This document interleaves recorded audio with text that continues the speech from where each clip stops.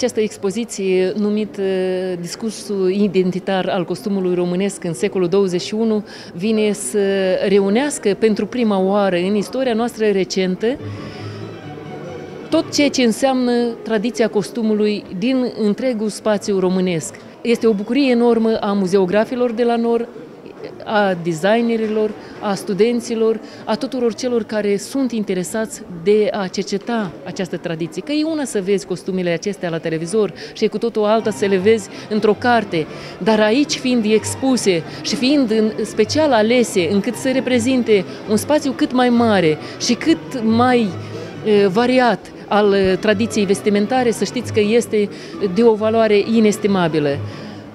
Astăzi uh, sunt expuse aici două colecții mari a doi colecționari. Ioana Corduneanu de la București prezintă 16 costume din diferite zone etnografice ale României, iar Sebastian Paicu, aici de față, prezintă costume din uh, Transilvania, cu uh, diferite uh, zone uh, sau cu diferite aspecte zonale. Iar muzeul completează acest discurs prin câteva costume ale sale, la fel din diferite părți ale spațiului nostru cultural și așa cum o să vedeți acolo pe perete, mai multe cămăși, cămășoaie mari, Bineînțeles, astea sunt cămășile cu altiță, cele care ne reprezintă cel mai mult în lume, fiindcă sunt de sărbătoare, așa cum le poartă zânile din ziua de astăzi, sunt zienele și drăgaicele, fiindcă trebuie să remarcăm, expoziția este dedicată întâi de toate și aceste sărbători mari, când Fetele de la noi, femeile, își scoteau straie de sărbătoare, cele mai alese, pe care au reușit între timp să le facă și mergeau prin câmp să recolteze spice, spice de grâu, de secară, de ce era și le aduceau cu cântec în uh, sat ca oamenii să înțeleagă că e vremea secerișului și pot să se bucure de roadele câmpului.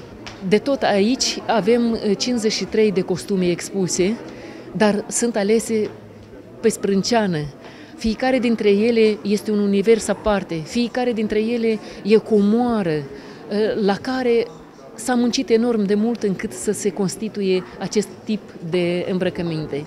Muzeul are costumul cel mai vechi de la începutul secolului XIX, dar nu este un costum întreg, sunt piese dispersate din diferite părți unele dintre ele au intrat în colecția muzeului la momentul organizării acestei instituții, dar atunci deja erau vechi. Deci au deja peste 125 de ani de când sunt în patrimoniul nostru. În uh, patrimoniul muzeului avem de tot peste 5.000 de piese de vestimentație.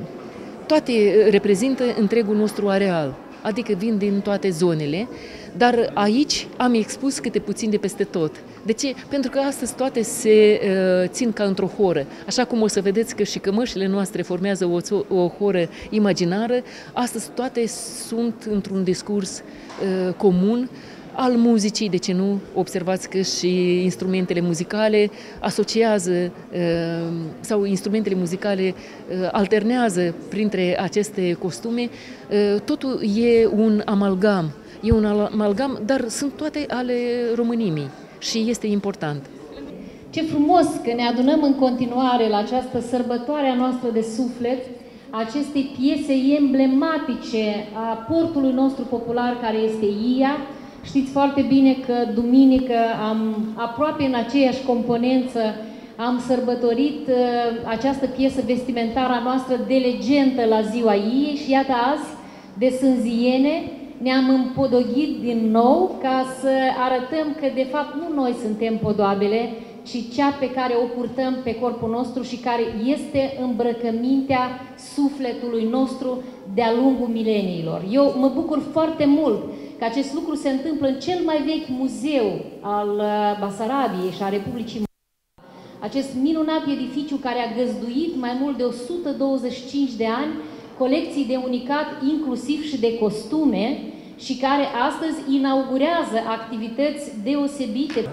Am adus o parte din colecția pe care am reușit să o adun în ultimii 10 ani, care cuprinde uh, preponderent costume din uh, Transilvania. Uh, este vorba despre 16 costume care subliniază sau ilustrează cele patru mari tipologii de costum din Transilvania. Marea majoritate a pieselor sunt colecționate în urma expedițiilor pe teren, pe lângă aceasta am mai și primit foarte câteva piese și de asemenea de la târgurile de antichități. Am reușit, toată întreprinderea aceasta este personală, privată, să zic. Unele dintre cele mai vechi piese sunt realizate la sfârșitul secolului XIX, început de secolul 20, deci vorbim de piese care au, să zic, 120 de ani, poate și mai bine.